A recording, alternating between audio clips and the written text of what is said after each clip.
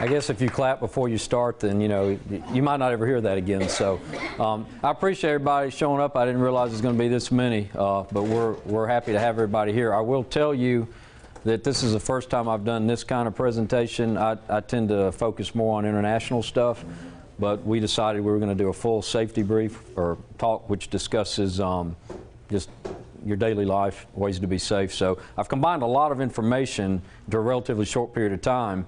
We could sit here for probably the rest of the evening talking about safety issues, so there's no way you're going to touch on everything, but hopefully we're going to hit some key points. And what I hope you go away with is you pick up a couple ideas of something you hadn't thought about before that will help you be safer in what you do every day, uh, whether it's here, whether it's traveling internationally or walking to your house from a grocery store or whatever.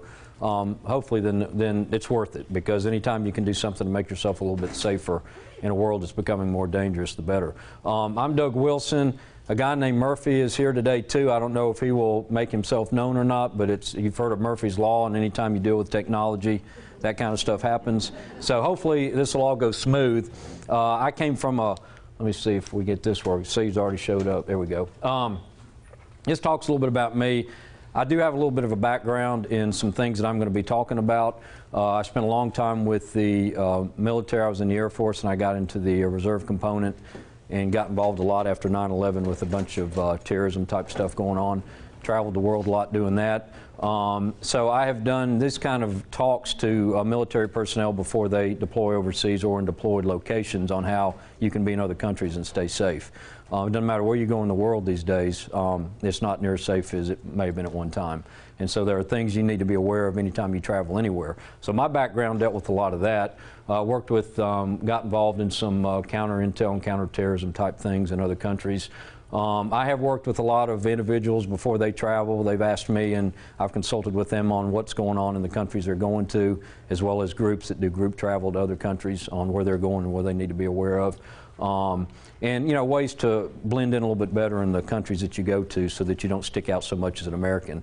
It's good to be proud to be an American in this country, but when you go to other countries, don't advertise it too much. That's anywhere in the world now. Um, the agenda today, I think you probably have that in front of you, is uh, we're going to talk a little bit about daily life type issues, you know, just how you can be safe in your homes and the things that you do on a day-by-day uh, basis. Home safety and home invasions. You hear more and more in the news now about home invasions. It's scary because they don't care if you're home or not, they'll come in. Uh, Safety for seniors, we do touch on that a little bit. Again, any of these topics could be a full session. We could, we could spend two or three hours on just one topic. So we're covering a lot of information and maybe we could come back another time and really focus on specific areas that might be interested in. Uh, safety when uh, walking and driving. Um, everybody does both of those. And so what are some issues you need to be aware of? What are some concerns that you've had? Uh, that have happened to you. We'll talk about some of those. And then international travel, we'll get into that pretty specifically. Along with international travel, it's not on your slide page there. Can everybody hear me, by the way? I tend to talk pretty loud according to what some people say. But um, international travel will include some air, airline tips. I think everybody, whether it's domestic or international, those of you that do a lot of flying nowadays, there's nothing at all luxurious about it. But we'll talk about some things on just flying safety um, and some self-defense tips. We want to get into some self-defense basic things. I do have some videos if they're working properly. We're not going to get into a lot of stuff in here. Um, I do have, I do want everybody uh, to understand some of the things that you can have personally that can help you in self-defense. Um, I have a taser. We're going to have everybody come up. We're going to tase you so you get the idea what that feels like. Um, they're laughing. Um, you, know, you need to know how it would feel to the guy that's someone that's coming after you so you can understand how it works. So everybody will form a line and we'll. Um, uh, but we're going to go through a few different items today that may, just simple things that if you will just remember them, most of the time when somebody or a perpetrator comes after you, they don't expect that you know any of this stuff. Um, if there is just a few things you can do to throw them off where they think, wow, this person knows knows what they're doing, then that's 50% of it right there. Most of the time, they're going to catch people by surprise. They don't expect they're going to know any way to get out of what situation they put you in. But we'll talk about a few of those, and there's some really good videos that I hope we'll pull up when we need them. Uh, this shows a little bit uh, of my travels, and I, have left a couple things off that I just noticed. But some of these are some of the countries I've been to, and um, some of you might be familiar, that bottom left picture there, that's from a place called Torquay, England, if anybody remembers that. So uh, it doesn't look like, it looks like it could be Italy or something. But, um, so I've traveled around the world a little bit and I've been exposed to a lot of different cultures and a lot of different things that can go wrong. But uh, traveling the world's a great thing to do. It's a lot of fun. Um, and here's the, here's the thing I want you to go away. Knowledge is your best self-defense.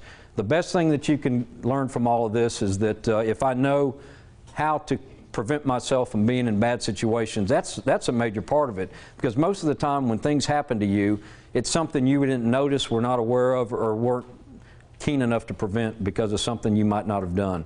So if you can just be aware, better aware of your surroundings, be more alert, uh, those kind of things are going to help you down the road to keep you from being in a situation where you have to enact in some kind of physical way to somebody that might be trying to attack you. Um, so let's get started with this. Safety at home. Am I moving around too much for what you're doing? Okay. Safety at home, we're going to start talking about this first of all because there's just some basic things we all need to know about our homes. This is really generic, simple stuff. Um, it's all stuff you've heard before, but maybe you'll hear something that will reinforce an idea that, yeah, I really ought to do this. So there's nothing really rocket science about any of this, and I think everybody's heard some of this stuff before. But here's 10 security tips. Uh, at home, carbon monoxide, and this isn't all just safety again. This is safety where you're living in a safe home. Um, does everybody have smoke detectors and carbon monoxide detectors? Or one of do you all have those in your house? If you don't, you really should. If you don't, that's a good tip for you right there. Get them. They're not expensive. You need to have either a monitored fire smoke system or you can buy these battery operated things that work just fine, but you need to have that in your home. Um, and they all have sensors in them that can detect that stuff. Sometimes the sensors are a little too good. Uh, whether you're buying, building, or remodeling your home, uh, you know, and I think that's pretty much a requirement through code nowadays is that uh, roofing has to be fireproof. So always check on that. Um, some of this stuff I don't do. I don't know that I would do, but uh, some of the suggestions are that you have a locked mailbox at your home where people can't open it up. They can find out a lot of information, a lot of identity theft now. Um, by opening up your mailbox and going through your stuff, they, they can learn a lot about you if you're concerned about that happening in your neighborhood. Um, so that's something to think about anytime you're going to be away from home for a long period of time, uh, lot, most of us use cell phones now. There are still people that have landlines that go into their house, you know, for security systems and all that. They still have a home phone. Uh, turn your ringer way down so that somebody that might know your number doesn't stand outside and call your number and you hear it ring, ring, ring, ring. Well, they're obviously not at home. So if you can set your ringer down to a low level, they wouldn't be able to hear that anyway. Uh, like I say, I don't. I think this probably applies to maybe 50 or 60 percent of the people now, because a lot of people just don't have landlines in their house. Um, but it is something to think about. Something else I like to do that I don't think this talks about is um, leave a radio on when you're gone. It uses very little power.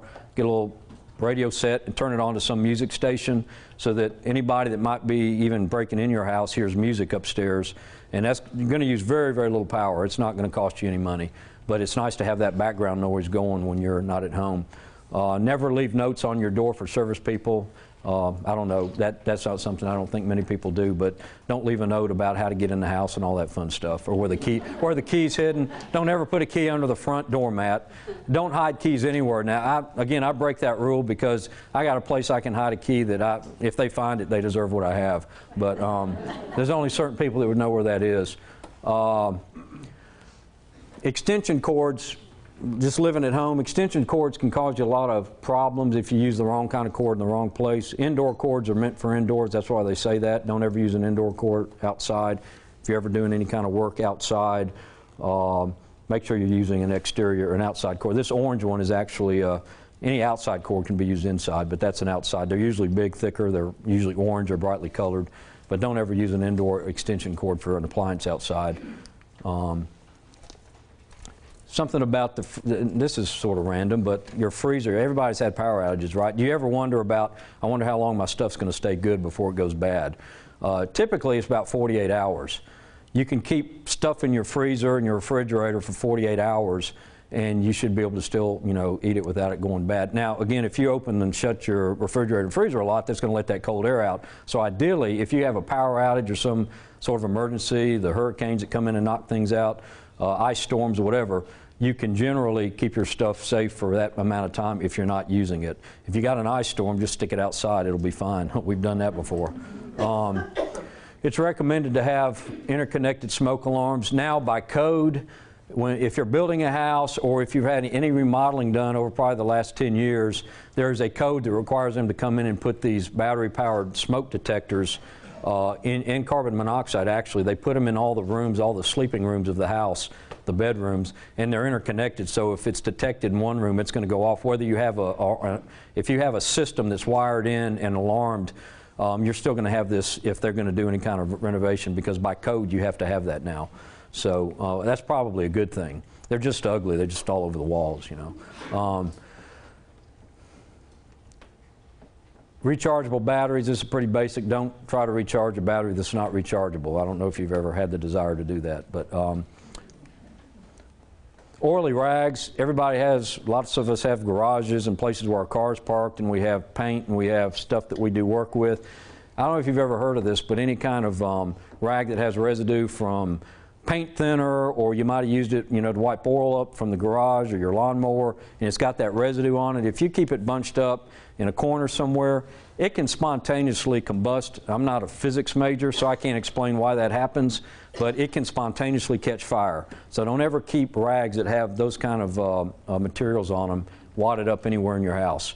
Uh, make sure you wash those out or throw them out or do something, because that, that has happened more than once. Uh, here's a few, this is just a graphic of some things that we talked about. Uh, electric, de electric devices, you know, don't stick things in a toaster. This is sort of basic. I don't know why they put that on this slide.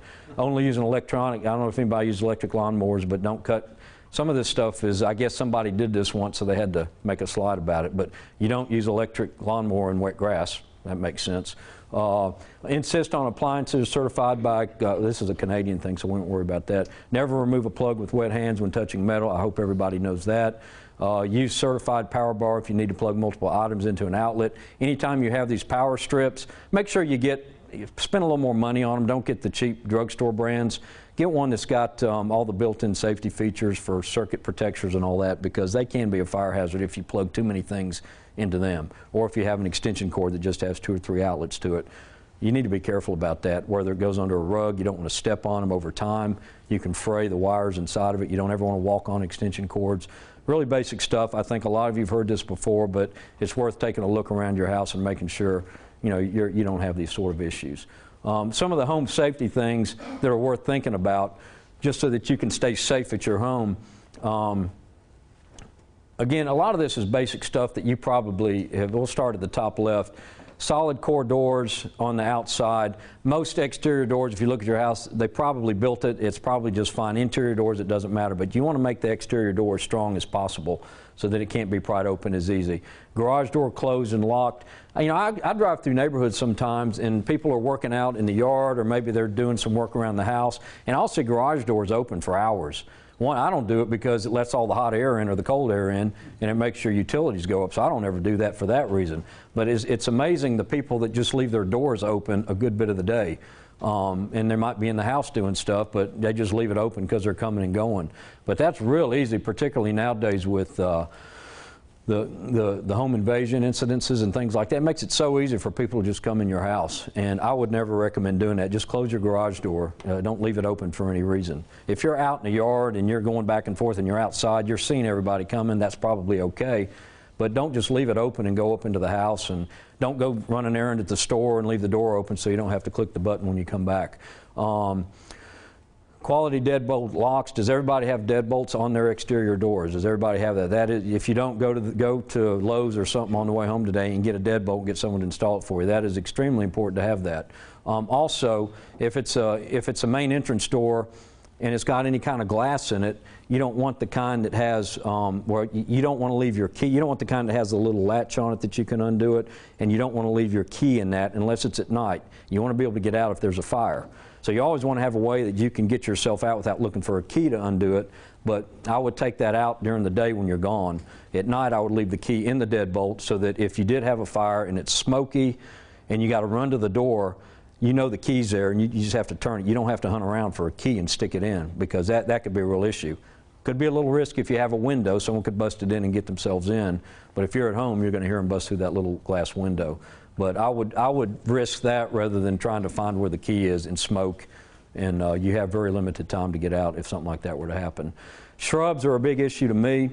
Um, if you've got a house that's got windows that are in the front or anywhere around the house, if I'm a bad guy, I'm going to go hide behind the shrub by the window until it looks safe, and then I'm going to figure out a way to pry in the window. I'm not going to keep my shrubs high enough where somebody can hide behind them. That's the way I look at it. Um, shrubs are nice and you can have them, but don't have them so tall that people can hide behind them and break in your house.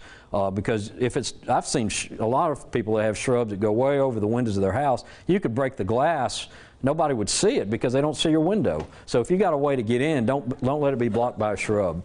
Um, basement windows, if you have a basement, they all by code, if you're using it as a room, whatever, there has to be uh, some sort of window well or could be a basement window. Don't forget about those. There's ways you can get down inside those little wells and break in. That's an easy way to do it. So make sure you have a reinforced window or something on it where people can't break in very easily. Um, draw shades at night so people can't see all your stuff inside your house. I know we all probably leave our shades up some. But if it's you're at home alone, you know you don't want to have shades up, and also anybody can see what you have. If you're on vacation, stop your mail, get a neighbor to pick it up. That's a common sense thing. I don't know if people think about that, but you don't want papers piling up in your yard, and you don't want your mailbox overflowing. And it, it gives a signal even to the mail person. I'm sure they're trustworthy, but when there's mail and three or four days of mail, they know you're not at home. So don't give people that idea. Most people have neighbors they can depend on for that. So a few tips there. Don't want to get too much into this. Um, Peepholes on doors very important, so you can see. You, you, wanna, you don't want to open the door. You want to look in and see who that is that rang your doorbell at 2 in the afternoon or at 7 at night. Uh, something else I, it's good to do is keep uh, like a hammer, something close by one of the doors that people would come to. And uh, if, if you feel a little bit funny about something, just pick the hammer up like you've been working in the house a little bit and open the door and you've got a hammer in your hand and uh, I, I, was just doing some work. But if somebody's trying to do something, it doesn't take much of a whack with a hammer. If they were thinking about doing something they see with a hammer, if they're a friend of yours, I mean, they're going to say, "Why are you holding a hammer?" And you just tell them, "I didn't know who you were." But if you um, if you come to the door with a hammer and it's a stranger, if they're thinking about doing something, they probably won't. Now, I mean, that would be the the best thing to do. You wouldn't want to have a any other kind of object. You know, some people have guns in their house. That's probably not the best way to greet people that come to your house, but a hammer would be okay. Um, don't advertise, leaving a note. Yeah, we already talked about that. Um, I'm not real big about having our names on mailboxes. I don't see too many people that do that nowadays. Uh, so I would I wouldn't advertise who you are because you can look people up through Google or whatever and say, oh wow, they're, they're a physician. They probably make a lot of money. I'll go rob them. So if you just have a number on there, you're safer. Um, the average predator will watch you six to 12 times before they commit the crime. So again, that's an awareness thing. Be aware of who's watching you. If you see somebody that you saw two days ago in the same spot, be real suspicious. That's what law enforcement's for. But um, I don't know if that statistic's accurate, but it makes sense. Most people will do pre-surveillance uh, on anything that they're to that they have uh, nefarious ideas about. So, um, all right, buy a dog dish. That's that's a good idea. I didn't know about this till I started reading through some of this. If you don't have a dog, get a dog dish and put it by the door. Because criminal comes up, I'd get a big old dish too. It's like it's like. Uh, yeah, I think I'll go to the next house, and um, because they think you got some big dog, so you know that's that's a good idea. I didn't think about that. Uh, I've got cats, but cat dish, cats are afraid of everything, so that's not going to bother them. Uh, replace when you move to a new house or apartment. Obviously, if you really know the people you bought the house from, I think you're okay. But a good safety thing would be to replace the locks. If the apartment won't do it for you, do it yourself. It's not that big of an investment, but just to be safe, because keys can get copied and duplicated. Um, the best lock in the world is no good if it isn't used. Lock your doors. I know a lot of people that stay at home and they keep their doors unlocked. They, they stay in their house with their doors unlocked. You know, as this isn't Mayberry anymore. You got to lock your doors. Uh, we talked about the shades, burnout light bulbs. You know, I also like, I don't know if I have this in here or not, but timers. It's really nice to have lights coming on arbitrary times in your house at night, even when you're at home. Just have several lights on a timer and they'll just pop on. You know, one will pop on at six in the afternoon and another one seven o'clock at night, and then they'll go. They'll stay on a few hours and they go off. But anybody watching your house when you're out of town, you're going to have these lights coming on at different times. That's easy. You'll buy a few timers. Don't, they don't cost anything. Program them to come on at 6 and go off at 11. Um, and whether you're home or not, just let them come on and go off and do their thing. And then anytime you're gone, you know lights are coming on and going off. I think that's a really good thing if you haven't done that or if you're not doing that. Anybody in here do that? Yeah, good. We talked about service workers. Again, we get, I have plenty of service workers come to my house, and I don't sit there and grill them about who is a person coming to my house, how long have they been with you, did you do a background check. It's probably a good idea if you're a little leery about that. Um, just know who's coming to your house. Deal with companies that have some reputation to them or that were referred by somebody. Most big companies are going to be pretty reputable. If it's somebody, you know, some individual that has their own company out there, I'd be a little leery about that unless they were recommended to you. Um, just know who's coming into your house to do things. Uh, and then neighbors, we talked about your neighbors. It's great to be in a neighborhood where you have a few retired folks or maybe some stay-at-home people uh, that are always watching after things. Get to know those people, let them know what your schedule is so they know that I'm usually gone from 7 to 6 every day. My house is empty. I'm not expecting any visitors. So if you see a car pull up, it's not anybody I was expecting. Um, we talked about the timers. I won't go into more of that. When you're gone, we talked about that. Have people look after your stuff. Uh, be selective about your personal information. You know, just tell the people that you trust where you're going and how long you're going to be gone. If you're going out of the country, social media. I don't think I got into that too much. That's a whole. We could spend five hours on that. Social media. I see people that will put, you know, oh, we're at the airport getting ready to go to Greece for two weeks. We're, you know, and then pictures while they're there the whole time. Um, it's you do that when you come back and say, hey, I was in Greece. Here's my pictures. Not I'm in Greece. It just tells me, oh, nobody's at home. I'm going to go rob them. Uh, so you got to be real careful about sharing where you're going and what you're doing with people. Uh, taking now home invasions. This is something else. Taking steps to prevent your home from being approached, targeted by burglars is important. You need to think about what you can do to make yourself safer. Again, this is becoming more prevalent, unfortunately. Um, and there really is not a lot you can do if somebody busts in your house with a rifle or shotgun, uh, you're, you're a bit vulnerable. And if they really want to come in in a home invasion, they're not looking for the discreet way to come in. They're busting down the front door, coming through a window. Um, don't, again, the key thing, don't make it easy for them. The key's under the doormat or anywhere. Don't have them hanging on, you know, anywhere. In potted plants, that's where they're going to go look. Uh, when having your, don't leave your entire key ring because anybody can take your keys. They say, here's a house key. I'm going to copy it. I know what their address is because they're doing business with me and I know who they are. Uh, and you never know who all has access to those kind of things. So take your automobile key off, just give them that. Don't give them your two or three keys. Uh, we talked about peepholes earlier, but have those where you know exactly who's coming in if somebody's banging on your door. Uh, burglar alarm systems are very, you know, it's worth having, honestly. Uh, monitored or unmonitored. If you monitor, you can spend anywhere from 18 to probably 30 bucks depending on what all how sophisticated it is, you might go up to 50 bucks a month. But um, you have a, a, a, company that's monitoring. If someone breaks in, they call you. They start calling your cell phone, your home phone, trying to get you. If they can't get you, they're going to send the police. If they do get you, you've got to have a code to tell them.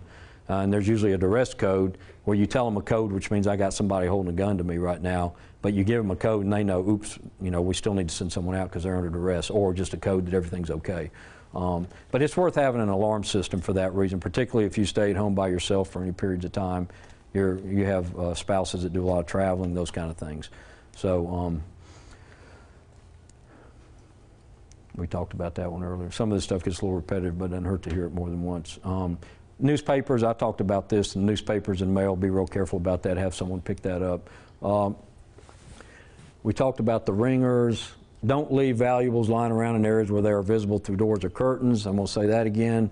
Uh, closed and locked. Some of this is a little bit repetitive. Shrubs beneath your windows. Again, this is another window thing. You don't want them covering your windows, but if they're beneath the windows, particularly that uh, holly that's really, have you ever, do you, have you ever been around that holly? I can't think what they call it, just holly. They got some really sharp edges to them, and you try to prune that stuff, I mean, you come out all cut up. But if you have some of that low level around your windows, you've got to either step on it or get right in front of it or behind it, and it makes it really difficult. Again, not covering your window, but just high enough so that they got to deal with it to get in through the window because it's going to hurt them a little bit. And they may very well, I mean, you don't want to go to the neighbor's house, but they may go to the neighbor's house if they.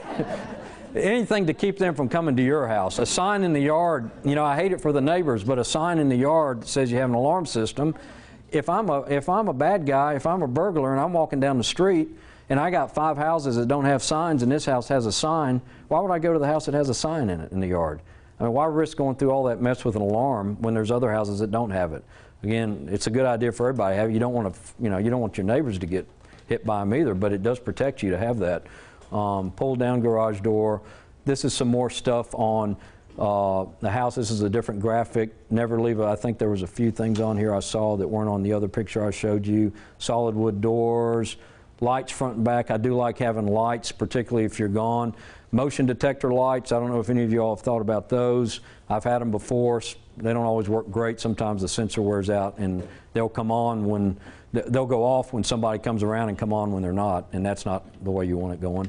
But um, if there's motion around your house, it's going to light them up. So if they're coming around the back of your house, you got a motion sensor on your floodlight, it comes on. They're going to be they're going to be lit up. So that's probably going to move them away too. So having lights on or having motion detectors where uh, it lights up if they come around your house is a good idea.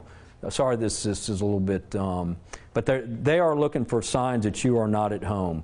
So anything you can do to throw that off, which is music playing in the house, lights coming on at random times, um, people picking up your papers, anything that makes it look like somebody's there, you're better off. You don't want to give out signs that you're not at home. Now, let me see if this works. You can cut for just a second so we can get this. This is where we were having, this is a, uh, this will recap some of what we talked about. Would you like to save $600 Try to get off the that's right. Save a minimum of $600 okay. a year on your homeowner's insurance by simply Yeah, that'll be done in a second. I can't I can't move the cursor over unfortunately. That's what we were Save at least $600 every year. So we got to listen to the commercial. I'm not going to maximize it because we have to try to get back to it, so it'll start just a second. There's a lot of good YouTube things. I did some research, and so go back after today. Just YouTube some of these subject matters. There's some really good things on it, and I like this one in particular. Just it's you have to listen. It's a little hard with the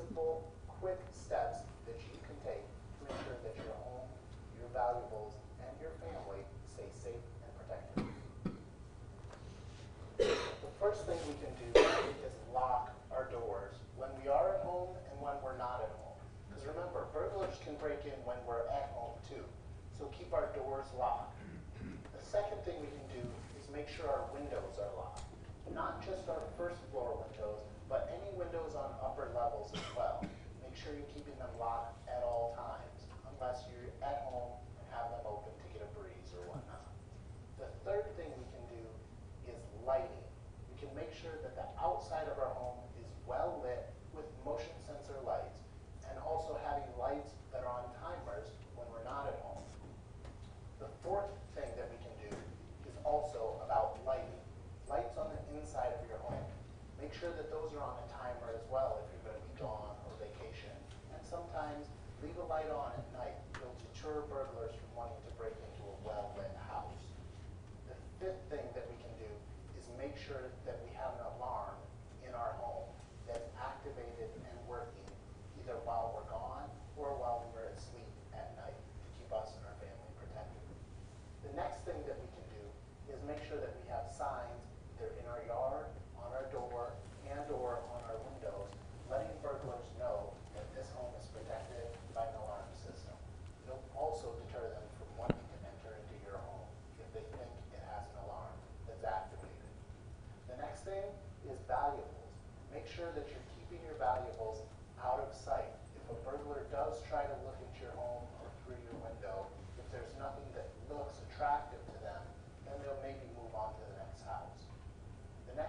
do is make sure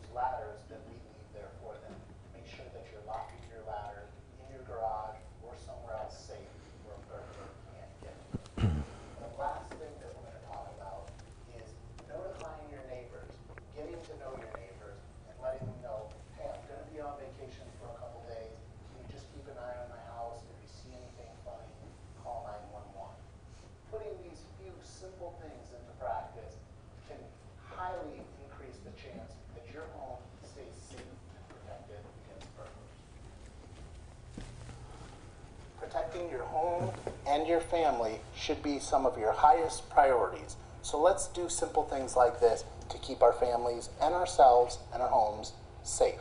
I'm Gabriel Williams, and we've been talking about 10 Get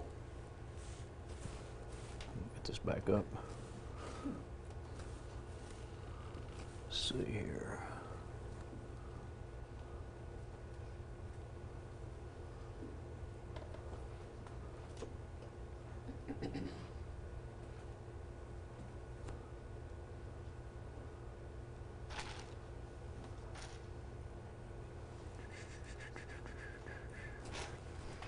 Let's just get that closed out. Hold on a second, here we go. That's good up there. All right, okay. It's a little trickier than it ought to be, but um, he reinforced a lot of what we talked about. One of the things I didn't mention, I liked what he said. Some people leave ladders against the back of their house, and that, that's real easy. You just, and you don't think about it. It's there when I need it because it's a hard thing to store. But store it in your garage. If you have a ladder sitting against the back of your house, it's easy for a burglar just to use that, and that's what they'll do. Um, okay, let's try to. So, um, senior home living safety tips. Some of this will get a little repetitive based on what we just did with some of the other things. Um, know how much is too much to lift. Everybody thinks they can do more than they probably can do. Even when you're younger, that tends to come into play sometimes. We lift things that are too heavy. Uh, that can risk an, in, that could, in particularly if you're alone, you could be injured. You might find yourself where uh, you're needing help and you can't get to the phone to get help. Uh, ask for help when lifting, moving heavy objects. You've got people you can call to do that. Uh, when you're taking medicines and things of that nature, have the lights on so you know some of the pills and things you take have the same kinds of shapes. Be very careful because if you take the wrong thing, you don't always realize it and something's wrong with you and happens, you have no idea it was from the medication you took. So having a lit area where you take these medications is important. Uh, to help lower your risk of heart disease, doing any kind of, or any, any sort of disease, I think, maintaining a healthy lifestyle, if you can do exercises or walking, Debbie's, you know, Debbie can set you up with that. It's good for people of all ages to be involved in some sort of physical fitness because it has been shown to prevent lots of later life type uh, ailments and diseases. So always uh, do that. Even you know, there's things that you can do at any age to help prevent falls. You know, one of the things you got to be careful of, and this is for anybody. Uh, you have a lot of area rugs now. A lot of people have hardwood floors. They have area rugs. There are things those rugs can slide on the floors. Sometimes you think they're pretty sturdy, but you could easily kick up an edge and trip over it. Uh, there are things you can do to get that. There's there's there's material you can buy that you can put on the floor that the rug rests on, and it keeps it from sliding or from. Uh, it can still turn up if you kicked it right, but it sure helps that. So there are things you can do to keep uh, area rugs from bunching up where you might fall or where they might slide out from under you. Um, don't get too confident in the rug on the floor that it's going to stay there because they do tend to move. We just talked about exercise, didn't we? Um, if you're someone, this is an interesting thing about insulin. There's a lot of folks nowadays that have diabetic issues. I think type 2 is what people tend to get as they sometimes later in life. So, um, but if you or anyone you have, uh, insulin has a, insulin can, it does not react well to different sorts of elements. Uh, cold, hot, direct sunlight, glove compartment, it's going to go bad. So you don't want to depend on insulin that has been uh, not refrigerated or it's been kept too cold or it's been in the light. So be real careful about that if you're taking care of somebody or if you're on it yourself. Uh, put a security whistle on your key. Um, if you're out walking around, this is a good idea, uh, and I've heard this in other situations too, that if you've got some sort of a whistle device, and again, this is anybody of any age, if you go out and do a lot of walking, run trails, do those sorts of things, have some way to make a lot of noise. Um, and so a whistle's a good way to do that, particularly if you're in an area where other people are around. They're going to look to see where that whistle's coming from. So if you ever feel threatened, use that. Um, now this says curtains parted when you are on vacation so your house doesn't have an empty look. I, I go along with that a little bit. We talk about keeping everything shut up, but I don't mind having a little bit of, of opening in some of the curtains or some of the windows so that it does look like it's not totally shut up. Um, you, want, you don't want it so open that you can look in and see a lot of what you have, but having a little bit of openness in the house is okay. Uh, Make sure you keep all your uh, medications written down and on a plan so that you know how to use those. Now, this is some walking around stuff. That was very brief on, on the senior tips, but a lot of it's repetitive. Uh, just walking around, daily life type things. We all find ourselves in these situations. You're at the Galleria late at night and you come out of a store, the parking lot. One thing I've never figured out about the Galleria is the parking lots are always sort of dark. There's a few that aren't, but I've never, I've never- understood why there's not more light out there because they do have incidences that happen. Um, but if you don't ever walk out to a car by yourself late at night in a dark lot, go in and try to get someone to escort you out there. If you feel a little funny about it, just don't do it because that's when things happen, particularly if you're a female. And that could be a grocery store, a shopping center. It could be leaving your place of work. It could be, you know, there's lots of different scenarios you can think of where it's dark, it's late, there's nobody around here. I got to walk all the way to my car. Um, try to get somebody in the store that you just came from or um, just somebody that you feel you could trust that's in whatever establishment you were in that could walk you to your car. I think everybody's found themselves in those situations where they feel a little uncomfortable. Have you? Where I'm a little nervous about walking to my car. Don't do that. Just get some help. if you're with people, that's helpful too. You know, with friends when you're going out about at night, be with friends. Avoid dark, deserted areas. Stay in well-lit areas, particularly parking a car. Choose the areas that have the big lights in the parking lot, not the dark parts of the parking lot. That's always good. Sometimes parking your small car in between two huge SUVs. That screens you out. You know what I'm talking about. You can't see around them. It's, and it's dark, and so anybody could be hiding around one of those SUVs, and you go get into your car, they could come attack you, and nobody could see it because the cars are in the way. So think about that sort of thing too. Um, when you're doing your runs out in trails and different things around town, there's lots of those places where people walk and run nowadays. Uh, don't feel the need to dart off and create your own path somewhere. Stay on the main path and the main trails. If something seems odd, try to get a description of an individual that you see that might look a little bit strange and let law enforcement know because they do have weird people hang out in some of these areas where people, I'm thinking of across uh, Sanford, Sanford and, and the Mountain Brook Trail, you know, that goes that nice trail. I run it. There's a lot of people that go out there and use it, but there have been some strange people in the past that have done some odd things. And um, so you always have to be aware of any of those public places. if you're out and about and you, you know, girls, you're carrying a purse, um, be real cognizant of where that purse is. Uh, you know, wear it around the front. I, I don't. I don't wear a purse. I don't know all the ways you do it, but around the back. Um, you know, anything where somebody can get to it with you not seeing it. You want it. You want to hold it in front of you. If you're sitting in any kind of restaurant, any kind of public space, um, slinging it over the back of a chair can be real problematic, particularly in Europe. We'll get to that in a few minutes, but internationally they are very good at getting your stuff. In this country, they're pretty good too if that's what they want to do. But if you have your, if you're in a restaurant, and you have your purse slung over the back of your chair, it'd be so easy to distract you and get your purse. Um, the waiter comes over and it starts asking you something. Someone else swings by and just walks off with your purse. You never know what happened. They're good. I mean, it's not novices that do this kind of stuff. They're people that know how to know when you're distracted and know how to get your purse without you knowing about it. So keep it in front of you. Don't set it in the chair next to you at a booth in a restaurant or at a chair at a restaurant. Uh, keep it in front of your feet or keep it in your lap. So just deal with, that's just something you have to deal with. If a driver stops to ask directions, avoid getting too close to the car. You know, you got to be real careful if you're walking and somebody pulls up and says, "Could you tell me where so and so is?" You know, a lot of times that's innocent and they don't know where a certain street is, but back up a little bit where they can't reach from their window and tell them, I think it's this street over there. And You can tell pretty quick whether you think they're legitimate or not, but don't get so close where you're listening in to hear what they want to say because they might just reach their arm out and try to grab you. So be real careful about that nowadays. Uh, anybody asking for directions. If you're being followed by somebody, here- here's another thing, particularly when you're out at night or shopping centers or so many people nowadays are living on these phones. You know, you're walking out of a store and you're checking your messages, see anybody, you know, email me, did I get any missed calls? So you're walking through a parking lot like this. That is the worst thing you can do. You're totally unaware of anything going on around you. So as important as you are, as you think you are, it can wait till you get inside your locked car to check that message or to return a call. Not while you're driving the car, but in the parked car, right?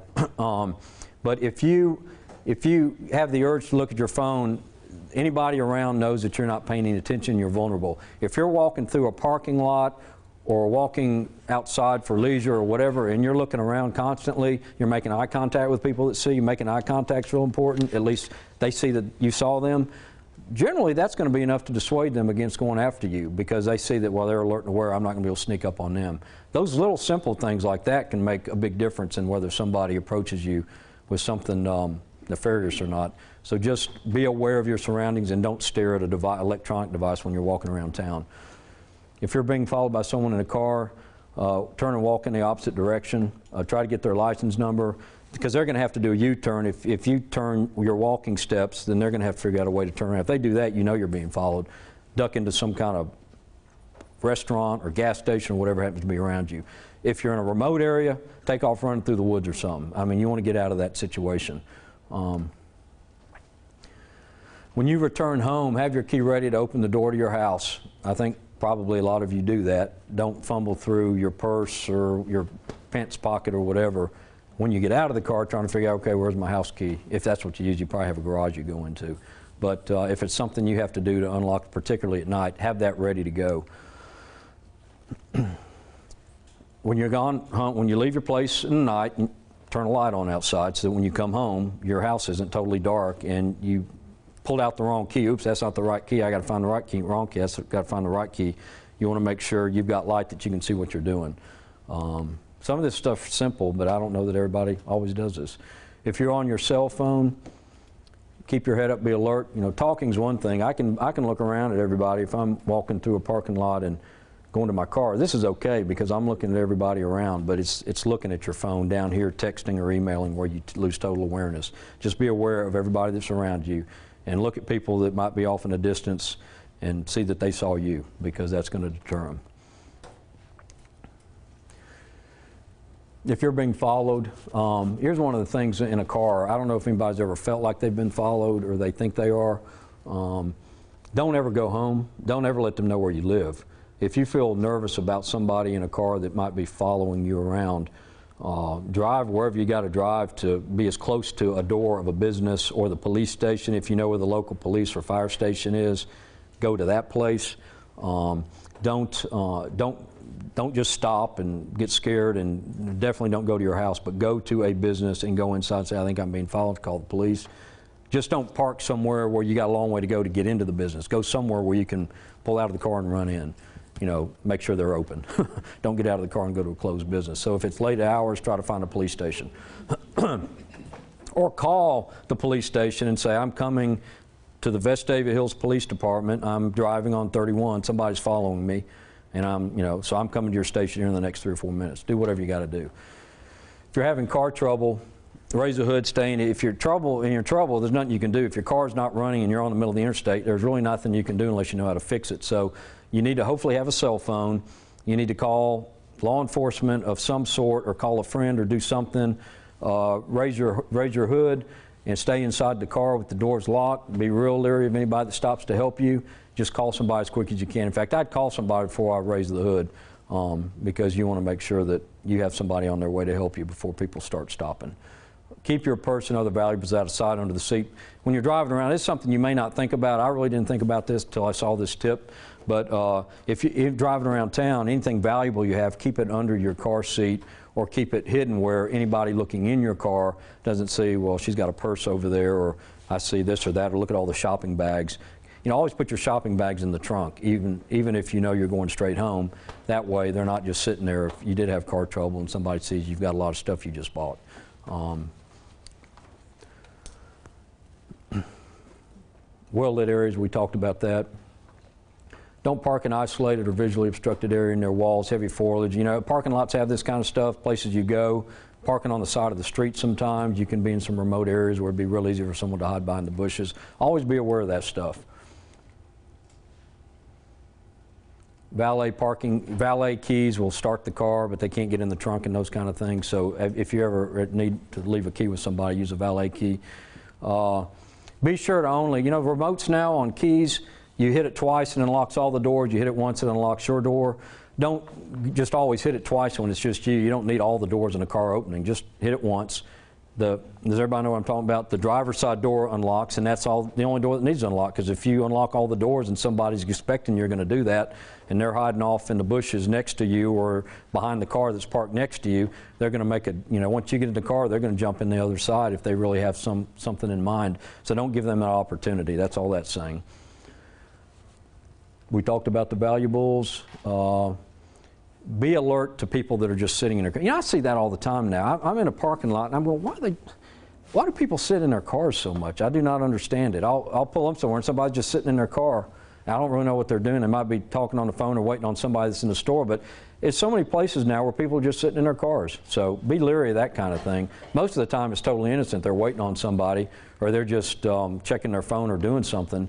But if someone's sitting in their car where you pull into a spot, say, well, there's a lot of spots down there. I think I'm going to go park down there. There's no need to put yourself at that kind of risk.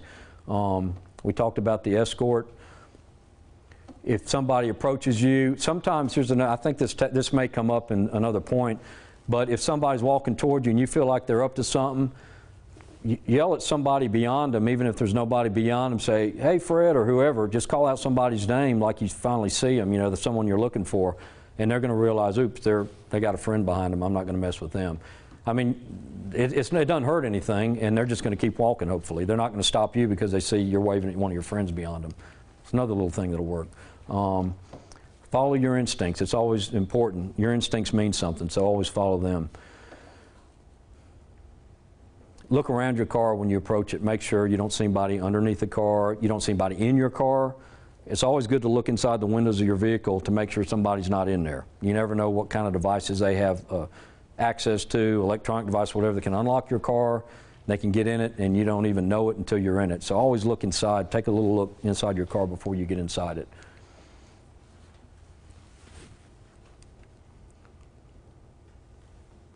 LTD, lock the doors. Um, always lock your doors back. Most of them have these electronic features now where they lock when you turn the ignition.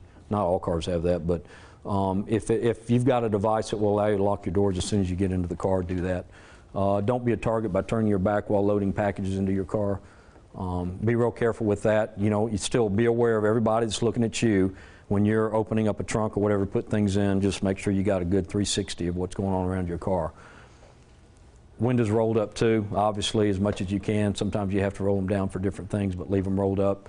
Um, always think, think defensively. When you're driving around and even on the street, you want to have a way out for an accident, for instance. Have enough space between you and always know who's behind you and always be thinking about if something were to happen now, if this car were to come, you know, just safety tips for driving. If, uh, if there was a wreck in front of me and all the cars came to a direct standstill, am I going to go to the left? Am I going to go to the right? Where's the shoulder? Where am I in relation to the shoulder?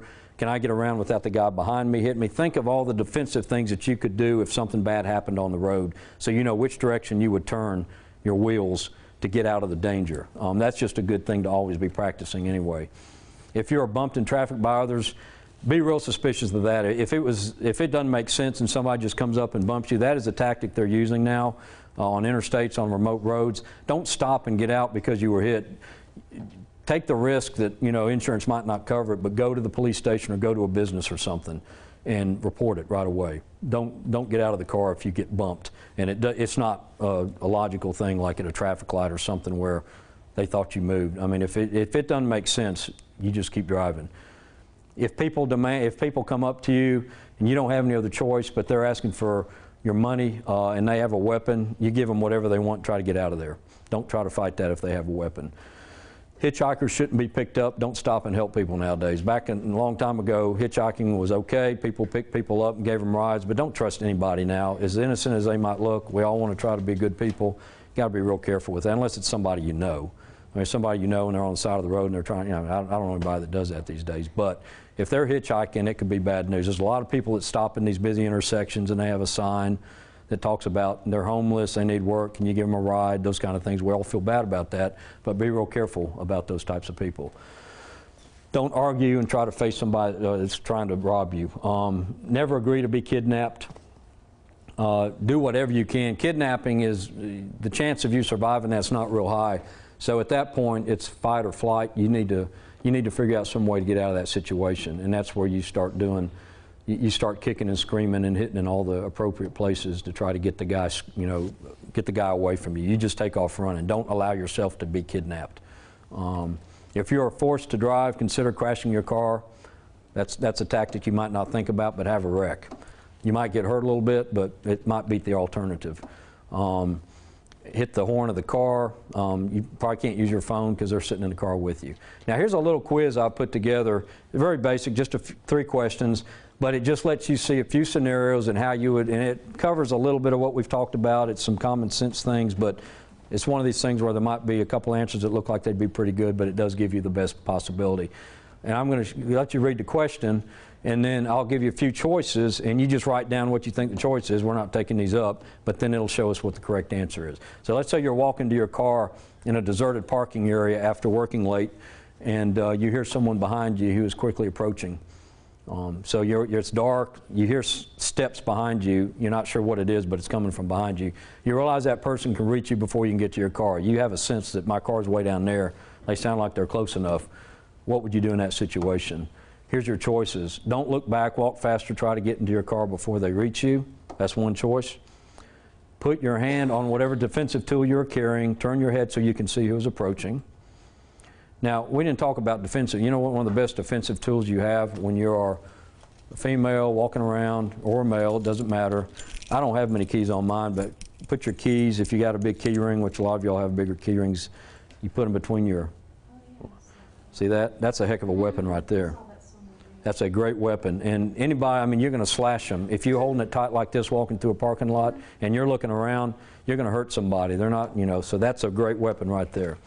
Um, put your hand on whatever defensive tool you're carrying, turn around, stop and turn around, pull out a weapon if you're carrying one. Those are your three choices.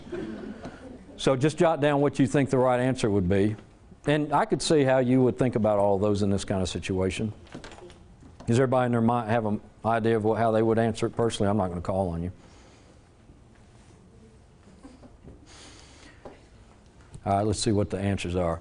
Um, oh, we're going to do, I'm sorry, we're going to go through the questions and then we'll come back to the answers. Number two, you are on a long drive and stop at a fast food restaurant late at night. When you return to your car in the deserted parking lot, you encounter a man with a knife in his hand who orders you to go with him. What would you do in this situation? Scream, uh, cooperate with him and look for an opportunity to escape, try to talk him out of it, refuse to go with them and resist in the strongest way possible, pretend to faint. think about that for a second. Jot down what you think the answer is. Have it in your mind because we'll come back to it. And question number three, I didn't write three by this. Okay, you are preparing dinner for your children when your ex husband, currently under restraining order, this is a domestic thing, begins banging on the door and screaming that he is going to kill you. What would you do? And you've got a child at home. Get the kids into a safe room, arm yourself, call the police. Collect your kids and leave by another door. Try to talk them out of it while your oldest child calls the police or call the police. Um, think of what you do in that situation. Get you thinking a little bit, doesn't it? Because these scenarios have happened and will happen. Hopefully, not to you. Question one was You're preparing dinner for your children when you or your ex husband currently under restraint. Wait. No, that's the wrong one. Sorry about that. Let's go back to the, that. That got put in the wrong space. Okay, this was where you were walking through the parking lot late at night. Ignore that up there. Somebody, you hear somebody approaching you from behind. You hear steps, but you think they're going to get to you before you get to your car. Um, the options were what you wrote down as an answer. We talked about one of his walking faster in the situation is not a good idea. The problem, or the, the answer was don't look back, walk faster, try to get to your car before they reach you. That was one of the options. They're saying just walking faster is not the best thing. The problem statement, that you can reach your car before they get to you. Ignore the fact that uh, that has put yourself in unnecessary danger. By not looking back, you can't identify the person following you and you can't assess the situation. It could be someone totally innocent. It doesn't mean they're bad just because you hear steps coming up behind you. So don't get too defensive at the start. Um, the right question is put your hand on whatever defensive. If you got keys, you got your keys. You don't know who's behind you. Um, turn your head so you can see who it is. They may be totally innocent, nothing to worry about. Uh, but this is the best of the proposed situation. Since you can't reach your car before they catch up to you, there's no point in running to the car because they're- might just start chasing you then, though you might want to continue moving towards it. By glancing back, you get a good look at the person. Uh, you'll be able to describe them. They see that you see them. Uh, they might see that you've got that little weapon in your hand. They don't know that it's keys. They're not sure what it is. But by having some defensive tool, even chemical, you know, the mace spray, those kinds of things, and keeping it out of sight, you are prepared to take defensive action without actually having to do it. So that's the best answer. Question one was um, uh, the other one was stop and turn around, pull out a weapon. You don't want to do that because you don't know that the person's defense. You don't know that they're after you. Don't pull out a weapon. That creates all kinds of havoc, particularly a gun. You never want to use pull out a weapon that you're not prepared to use because they'll use it on you. Um, unless you're really confident that you're going to use whatever that weapon is, don't pull it out because you're going to be the one affected by it. Uh, this is an overreaction. You don't know who that person is. You don't have to have a weapon ready to go at that time. So, um, question two was you're on a big long drive stop at a fast food restaurant late at night. When you return to your car in the deserted parking lot, you encounter a man with a knife in his hand who orders you to go with him. What would you do? All right, you can read that little scenario. Screaming, um, that's definitely going to get some attention. Uh, again, it depends on if there's not many people around. It's not the best thing to do, and it said this is a deserted parking lot, so nobody's going to hear it but the person that's got a knife. Uh, that's just going to agitate them. Um, so that tells you a little bit about what screaming will do. Screaming is a good first step, but you need to be follow up with some of these other things. Cooperate with them and look for an opportunity to escape. Uh, that's not really the best thing either. Um, if you cooperate with them, you're going to get taken. Uh, I tend to say you don't want to be too defensive because you don't want to agitate them, but you don't want to do what they want you to do because that's just going to let them achieve their objective. Um, he's planning to take you someplace easier to escape from where you are right now. Don't leave the area with him. Get into your car with him. Fight back. That's your choice. Uh, try to talk him out of it. Talking is not likely to being effective against a knife, though talking like screaming is often a good thing to distract him while you're figuring out what to do next. If you can talk to him and keep him right there, you increase both the chance of someone noticing your predicament and your opportunity to plan a counterattack. It allows you to think a little bit while you're talking. Um, the right question is refuse to go with him and resist in the strongest possible way. So this would be at the end of the day, after all those little scenarios, this is what you want to do is resist because if he gets you and he gets you in that car, your chances go down dramatically. And this explains a little bit about why that's important. I'm not going to read all that. But you do whatever you can to resist. Running is sometimes the best option. If they have a weapon, you, you run in a serpentine fashion so they can't get a direct shot on you. You do whatever you can do to get out of there. um, you don't want to pretend to faint. Okay, question three. This is where you're in the house. Your ex husband comes in, you've got a little kid, they're threatening to kill you, they're trying to come in the house. The correct answer on this is actually this one get the kids to a safe room, arm yourself, and call the police. Um, speaking of this, this gets off the subject just a little bit, but in any kind of scenario at home, you should have a plan of action for if you guys are at home in the middle of the night and somebody breaks in your house, what, are, what is your family going to do? If you have kids, what are y'all going to do? If you hear that noise or we come and scream some sort of code word that you know what you have to do. You should have some plan, whatever it is, whether it's a hall, whether it's a closet, whether it's some reinforced area of the house that doesn't require them to go out into the common part of the house where the criminal might be, but it might be up in a bedroom. It could be in a bathroom where two, two doors can be locked. It could be in a bathtub. There's just scenarios you need to think through. What is the best plan of action for your family if somebody breaks into your house? So be thinking through that and, and devise a plan of action for your family on how you would deal with it and who is going to deal with what's going on with the criminal, who's going to make the phone call, if the person is armed, who's going to go confront the, uh, the criminal, whoever, whatever it is, come up with a plan on how you guys would react if something happens. Because I think more than not, people don't have a plan, things happen. They don't know what to do. I got two kids down this hall, one down this hall, what am I going to do? How am I going to find them? Did they jump under the bed? Or they, you know, how, what's, you got all this stuff going through your head. So if you have some plan that you can enact and even practice it as a family, um, at least you know exactly where they are based on the plan. And that could help, you know, thwart some other bad things. So always have a plan.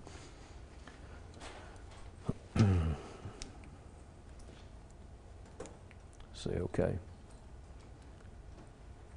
Okay, collect your kids and leave by another door. Um, now, this could work if you know that there's a door real close to the two bedrooms and you know they came in through that part of the house and you know a way to get out through the back of the house. That might work. Just know your house, know your layout. Probably not the best idea, though, to try to do that if somebody's in your house. Um, try to talk while your oldest child calls the police. Don't make your kid call the police. Uh, this is not probably the best method. But that gives you some things, scenarios to think through. We could think of a lot of different scenarios of what would I do in this situation. But all this is trying to do is prompt you to think of the kinds of things that could happen to you personally based on your situation and how you would deal with it if it happens. Again, coming up with a family safety plan, trying to figure out what the best course of action is if somebody were to break in your house would be an important thing to do. Think of the different scenarios that could happen. Think of how somebody likely would break in if it were the middle of the night, where the other people in the house are, where they should go to. Come up with a room. Same thing for storms, other things. You know, have a place where you go if there's a storm coming through.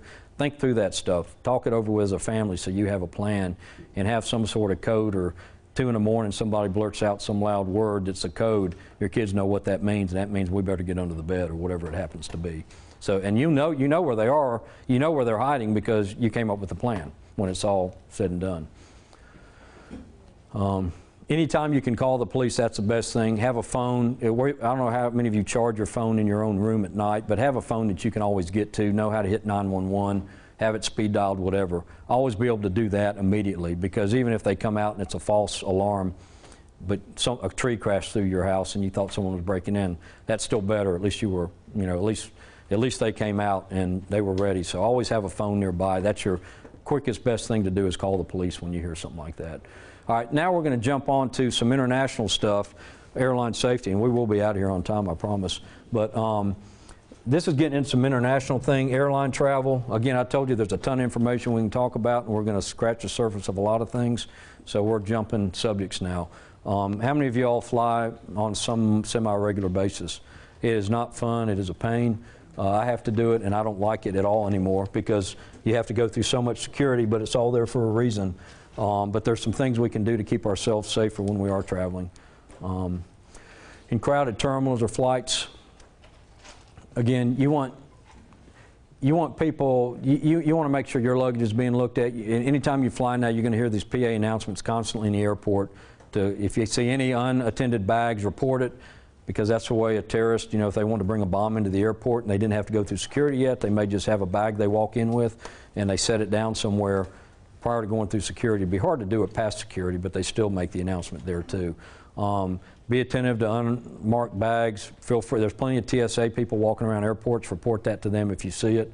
Um, when putting your carry-on bags to the X-ray belt, uh, a little trick I have on, on these X-ray belts. I, when I get into the airport, the first thing I do is I, I take all my my phone out, my change out, my keys out, my belt off, anything metal, my watch off, and I put it in my briefcase or I put it in my carry-on bag. I have anything metal out of me before I ever get near security. So I'm done with that because it just goes through the belt because I'm gonna have to or through the security belt. I'm going to have to do it anyway.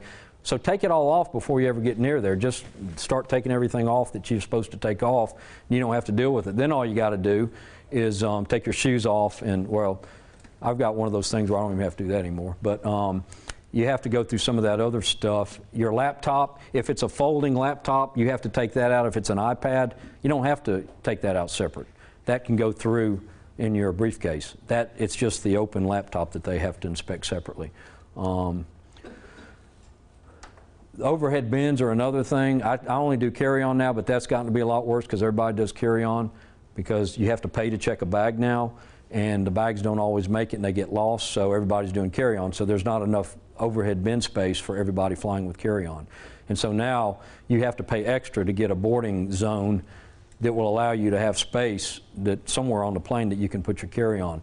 But if you can do your luggage in a carry-on and do it where you can see it, where you don't see other people trying to get, you know, your luggage or walking off with your luggage, I like to have a visual of where my luggage is because I don't want to see somebody else walking off the plane with it. Because when everybody's crowded, when you get off a plane, you can't go up and catch people six people ahead of that line. You're, you're locked in. So um, always have an eye on your bag if you can do that. Comfort, dressing for comfort is the best thing. Um, I always say to wear shoes because if there were some kind of in-flight accident or there was a, um, you know, if, if you had a ground egress where you had to get out of the plane really fast, you want some kind of covered shoe on when you're bailing out of the plane going down the slide or something. You don't want to have sandals or flip-flops. Think about that. Hopefully that's never going to happen. But if you did have to escape from a burning plane, plane on fire, emergency escape, whatever, you want to have some kind of shoe on. The safest seating is on the uh, exit aisle in the back of the airplane, usually farthest from the impact and farthest from explosive fuel. Now, the back of the airplane is not where a lot of people want to gravitate to because it gets noisy back there, but that really is the safest part of the plane. Um, I sit on aisle seats because my legs are long and the seats are horrible now. They're crunched. Aisle seats really, on an international flight, that's not what they recommend, and I'll tell you why. Because if, uh, if, if the plane were to get apprehended in the air, hijacked, whatever, they're walking up and down the aisles of the plane, and it's the person in the aisle that's going to get beat up on the side of the head, or they're going to be used as the example. And so, being the aisle person is not always the best seat. If you don't, if you don't have the plan to try to uh, take defensive action yourself if something were to happen, sit on the inside because then you're out of the way of where things might happen. I tend to like to know I can get out of my seat and deal with whatever might be happening. I, I, like to, I like to sleep on a plane with one eye open because nobody's going to get up to that cockpit. If someone's up there trying, I'm going to be up there tackling like everybody else. I'm just aware of that nowadays. So I want to be able to get out of my seat to deal with whatever's going on. Uh, if I'm not prepared to do that, sitting on the inside is the best thing because you want to be safe. Um, the time for greatest concern on any aircraft is takeoff and landing. Flying a plane is really simple. The, the, the, flying a plane up in the air, it's that stuff that happens when you're trying to land it that gets you every time. So um, that's when it's the most dangerous time on a plane. Um, and that's why they like you to have your seatbelt and all that fun stuff on. And um, that's when the most critical things can happen. So pay attention to what they're telling you about flotation devices and all that. I know it gets really, really routine and mundane, but it does, they do it for a purpose. So um, just know what you would do if something were to happen. They have those oxygen masks that pull down. Know how to use those because that does happen. Few, planes can uh, lose their uh, uh, pressurization and you have no choice but to get on oxygen when that happens, and that can just be a mechanical issue until they're able to get to a lower altitude where it's not an issue. So pay a little attention to know how to use that if you have to. Uh, a, a pin flashlight's a really good thing to carry on a plane. Um, if it gets dark, there's an emergency, the lights go off, it's at night, you want to be able to see, to get your luggage, to be able to walk down the aisle, whatever. If something happened where it just got really dark on the plane, having a little pin flashlight's a good thing so that you can at least see. And the more of those, the better. It might help everybody out to have a little bit of light going on. Understand, again, the flotation device, if you're flying over water, those things. You're not going to live very long if you go down in water. I mean, you might not live when you hit the water because hitting water and hitting cement's not a whole lot different when you're coming down fast. Um, but depending on which body of water you land in, hypothermia sets in pretty quick.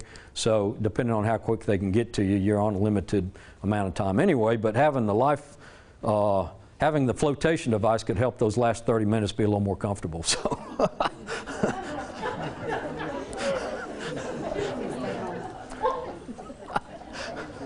so, um, everybody know what this is? It's a wall. See, it's a wall. No, it's a, yeah. That is a passport. Um, these things, you're going to have to start carrying more and more, by the way things are going, but uh, even on, and I never have thought about this, but even on a domestic flight, have your passport. What if you got hijacked, you end up in Canada or Mexico or something like that? It makes life a lot easier when they're coming on the plane trying to figure out who the Americans are um, if you've got a real passport. So consider carrying that. Just protect this thing like you would uh, the most valuable thing that you have uh, because it is a ticket, particularly internationally, that is, that is your ticket home. So um, that does make sense. I wouldn't have thought about that, but even on domestic flights, it might make sense to carry it. Um, this won't apply to anybody in this room, but don't drink too much alcohol. Alcohol and flying don't go well together at all, particularly on an international flight. You want to drink a lot of water. You want to keep yourself hydrated. That's how you feel the best when you get to the next country. Uh, or even flying domestically. It's very dry up there. It, it, it dehydrates you. So drinking water is the best thing you can do anytime. And that means soft drinks too. Those aren't. Those don't help you out. Those don't hydrate you. Just drink water. That's the best thing to help you feel the best when you get to wherever you're going, whatever country you're going to. You will feel better if you're hydrated. Uh, this little thing right here, this is a shot record. If you do international travel, you're going into some of these third world countries, uh, they have shots that they require. It's a good idea for you to get those so you don't get the diseases of their land like uh, yellow fever and those types of things. And I, I, was fortunate enough to be able to go to uh, South Sudan with Debbie and uh, Sally was on that trip. We had a mission trip there, and I had a bunch of shots from my military. I, I thought I was totally immune from everything, but I realized there's four or five things I had to get a re, you know re-immunized for, and yellow fever I don't think I'd had for years or ever had. So I had to get that. And what Debbie told me I will never forget, she said, you want to make sure you have that card that shows you have yellow fever and it's good because when you get to some of these third world countries and they want to make sure you've been vaccinated against yellow fever and you can't prove it through one of these cards, then they're just more than happy to give you a shot right there at the airport. And that needle might have stuck five or six other people before it got to you. So that uh, that caused me to realize that that little yellow card is very important, and I treated that like my passport. So um, keep that in mind. If you get to a country, sometimes they will not let you in if you can't prove you've been immunized. So the only other choice is for them to give you a shot there, and I'm not going to let somebody in third world country give me a shot. I would have had to turn around and come home because I'm not about to do that. So um, anyway, that's an important thing about that, and that's that's what this is. I just we talked about the metal. You know, that's that's a pain. You got to have all that stuff off. You think everything you're wearing is metal, and go ahead and get it off. I cannot stand to be behind people in the security line to act like they've never, maybe they never have done it. But they're they got too much liquid in a bottle, or they got too much shampoo in something, and they're having to go through all their stuff and clean. You know, they're not thinking ahead. Think ahead so you're not holding other people out up, and so you can get through that security line have all your stuff off. So all you got to do is run it through the belt. You don't have to sit there in the line taking all your stuff off. Do it before you get up to the line. Um, now, this is something we're going to talk about regarding international travel and how to blend in with your environment. And as you can see in these pictures, uh, a lot of these people, I would say they're tourists because, um, and I'm going to forego that video because it's a little bit complex to show these things and go back to the thing. But there's a little video I showed that on, on identifying people that are touristy, but I can talk about it plenty. I, the fella right here, do you suspect he might be French? Does, is he from France? Is he born and raised in Paris, you think? Um, he's probably a tourist, isn't he? I mean, I don't know too many parishioners that probably go around doing that. But um, anything you can do to keep yourself from looking like a tourist, the better and the safer you are because anybody that happens to be looking at that is probably thinking that guy might be a tourist. So um, uh, that's what you want to do when you travel internationally. I mentioned it earlier. You want to do everything you can to keep yourself from appearing to be uh, American or Western. It's difficult because we all have demeanor, we have a look about us, we wear certain kinds of clothes. But anything you can do to blend in with whatever populace you're in, the better, because the people that are looking to do bad things are targeting Westerners. And if, if you're from America, I don't care what your socioeconomic level is, you're wealthy. And you probably are wealthier than a lot of them. Um, so you've got money, you've got, you're vulnerable, you've got stuff, you know a lot of people that uh, they could probably get ransom from if they kidnapped you. So those are all the things that the bad guys are thinking about when they identify Americans. So if I'm an American and I'm in another country, I'm going to try to think everything I can do to look like the people of that country so I'm not a target. That's not what you do. Um, here's some of the stereotypes, and these are, these are stereotypes that the rest of the world has about Americans. Um, and that's just the way it is. That's what they think about us, whether you like it or not, whether you agree with it or not. Um, again, this screams tourist too, doesn't it, this picture? now, if you're in a Hawaiian resort or something, that's probably fine. Everybody, you know, but if you're walking around some other country like that, that's. Um, American tourists are not always on their best behavior. There's a lot of problems sometimes with Americans going overseas and getting with their group of friends and creating ruckuses and night spots and those kinds of things, and it just helps develop that reputation about Americans. Um, you don't, you know, this probably, fanny packs are no good anyway. Um, definitely not where you can see them because it's so touristy. I mean, you got all your stuff. Who walks around with that kind of stuff? You don't wear that with your business suit. I mean, that, th- those people are not from here. That's what I would say if I'm sitting in Italy or somewhere. That guy, well, obviously he's got the American flag on his, so that's not what you want to do. Um, the other thing you want to do before you visit any country, I don't care where it is, is educate yourself a little bit. Get on Google, get online. There are some neat um, apps you can get that have all this stuff about of something called the CIA Fact Book, and it's all unclassified. But it's an app you can get. Uh, you can get it on Droid, you can get it on the iPhone, and it'll pull up any country in the world. It'll give you maps. It'll give you all the medical data. It'll give you terrorism type stuff, criminal type stuff. It'll give you a ton of information. It doesn't even cost that much. But any country you have interest in, you can scroll down, click on it, and it gives you a lot of demographic stuff about the country and what you might want to know before you go there. So always learn as much as you can about the country. It's good to learn some simple phrases about their language. Um, you can learn about um, the greetings like hello, goodbye, thank you, excuse me. Those are real simple things to try to learn in a different language. You don't have to learn a lot of things, but that will help break the ice a lot better than speaking loudly in uh, English to them. Most, most foreigners are not hard of hearing, but we tend to speak very loudly to them because the, we're trying to get them to understand us. But uh, learn a few phrases in their language, and that'll be real helpful. This is an example. There's something, uh, U.S. If you ever Google U.S. State Department, I'm not even going to tell you the web link. I don't know what it is, but there's a site on U.S. Uh, I think it's U.S.StateDepartment.gov, and it will give you travel warnings. You can plug in a country you're going to, and you'll see a whole list of travel warnings for different countries that uh, have had warnings over the past six months or even the past couple years. You can click on it, and it tells you why that warning is in existence. It could be some uprising. It could be uh, it could be some um, terrorist action that took place. Uh, so that's a good source to look at. I don't I don't get my. It's good for a purpose of knowing something happened there. It's not very good to me to learn about the details of what went on. So I use it with a grain of salt, but I do look at it because I know which countries the State Department has put on their watch list or their warning list, and they had some reason for doing it. All the details about it may not be very thorough. It may be old information, but at least you know something went on there. So if nothing else, go to Google and put U.S. State Department, and it's going to come up with the links that you can pick before you go to a country to explore it. Um, there's something called, I think it's STEP, S-T-E-P, and it, it stands for, Debbie, you know what that means. What's say, uh, smart travel? Yeah, yeah. But uh, uh, it's great in registering before you travel internationally, and it will uh, log if, if you're, if you do not reach your destination in time, it will, you'll have people to contact at home. So anybody traveling, I do encourage them to register. We all, we register all of our mission trips with STEP. Or if something happened, they know that, hey, we got these six people, Americans, that are over here in uh, this area of South Sudan, and there's a huge uprising going on. We need to get in touch with them. So they know where you are. Uh, the State Department would have ways of getting in touch with you, hopefully.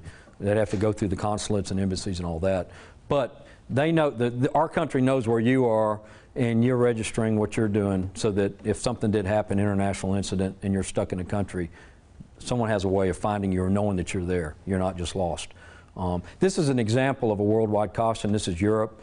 This is very general. This has probably been up since 9/11 in some form or fashion about terrorists, you know, that traverse the European continent and they're in all the countries and they're recruiting and all that. You know, it's very general, and it is true. This stuff's going on. It doesn't give me anything real specific, but it's just a general worldwide caution about European travel, and that really would apply anywhere now. Every now and then the threat levels go up and down depending on where you're traveling to.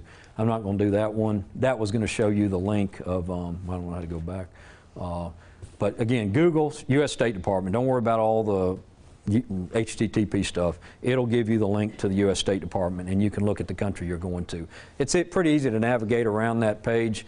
Uh, just click on, it'll say uh, countries of travel, uh, worldwide travel warnings. You'll figure it out. It's very user friendly. Um, if you're going to be carrying a laptop or a cell phone or all that kind of stuff, take off everything you can. You know, I left, I leave mine at home on some trips mainly because I can't control when I might, it might pick up a wireless from another place and I might get an email that connects me with something I don't want to be connected. I don't want people in that country. I used to be in the Intel world and I get these emails sometimes that are this generic because of some of the LinkedIn, few LinkedIn sites I'm on I get these blogs and things about stuff going on, and it says the intelligence source, or it has stuff that has intel in it. I don't need other people from the country getting my phone and seeing that I've got these sources that are part of the intel community. So I'm nervous about that because even if I delete those off, it doesn't necessarily stop a message from hitting my phone. So uh, think of this also. If you've got a contacts on your phone and you've got um, someone gets hold of your phone and they start scrolling through your contact and they see uh, names of people, president of this company, doctor so and so, they're going to say, wow, this person knows a lot of folks with money. Let's hold them for ransom. We'll call these people and say, hey, I've got so and so. You need to send us money. So contacts in your mobile devices, in your laptops, and your computers connect you to people where they figure out, well, this person knows a lot of folks, knows a lot of people that probably have money. We can hold them for ransom. We got all their contact information. We can call them from here and tell them I'm, I've kidnapped so and so. If you want them back, you got to send us. So think about that. I mean, I'm not saying leave all that stuff at home because we all like to communicate when we're gone, but be aware of what could happen if it falls into the wrong hands. And um, does everybody that make sense to everybody? We're going to have to move on. Uh, personal pictures, anything that ties you to anything. It's just a lot of work to do. It's just e- easier to leave it at home and buy one of those cheap phones when you get to the country, and that you can probably get on wireless or make calls back home.